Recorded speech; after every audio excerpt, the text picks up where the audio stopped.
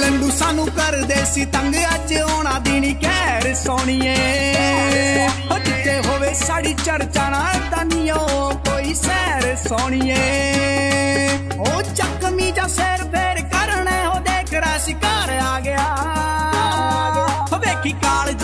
ਦੂ ਬੱਲੀਏ ਉਹ ਤੋਂ ਬਾਹਰ ਆ ਗਿਆ। ਕਾਲ ਜੇ ਹਲਾ ਦੂ ਬੱਲੀਏ ਉਹ ਗੁਜਰ ਜੇਲ ਤੋਂ ਬਾਹਰ ਆ ਗਿਆ।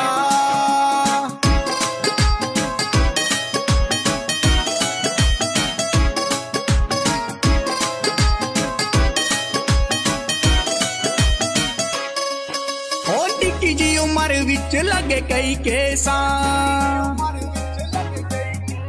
ਲੱਭਦੇ ਆ ਮਾਮੇ ਨਹੀਂ ਹੋਇਆ ਕਦੇ ਪੈਸਾ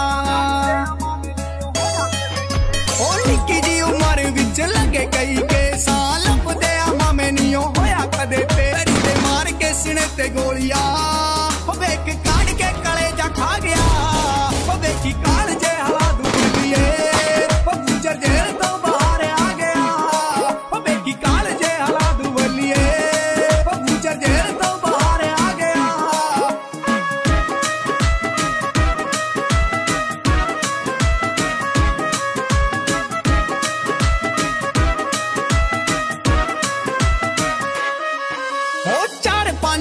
ਸਦਾ ਰਹਿੰਦੇ ਮੇਰੇ ਨਾਲ ਨੀ। ਯਾਰਾਂ ਦੇ ਆ ਹੁੰਦੇ ਕਿਸੇ ਗੱਲ ਦਾ ਖਿਆਲ ਨੀ।